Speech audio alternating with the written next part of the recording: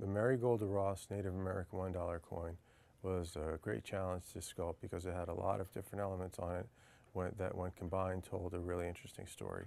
So here's the image of a coin that I had unique pleasure of working on. Here's Mary Golda Ross doing her calculations and writing down the equations.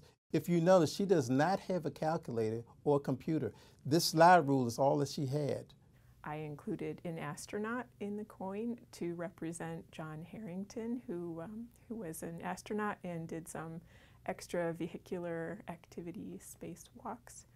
The astronaut in particular was difficult to sculpt because he's placed at the edge of the coin, which is typically where you sculpt things in very low relief.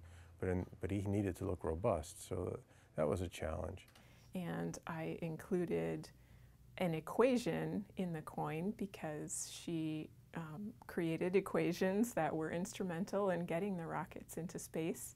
And it was very exciting to me to, in a way, indirectly collaborate with NASA because it was NASA who actually replaced my placeholder equation with a, a real equation. There's no simple equation or, or formula that you could really just get because it, it's, it's very complex in nature for the work that Mary Golda Ross did, and that was to be able to launch a rocket and take it out of the Earth's atmosphere.